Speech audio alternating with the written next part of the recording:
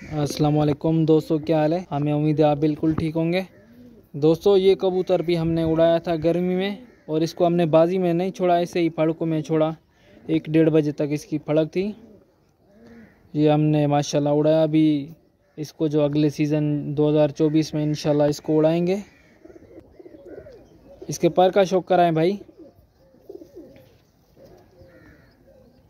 ये इसके पर देखें। दसवीं कली का पट्टा है, माशाल्लाह। आँख का शो कराएँ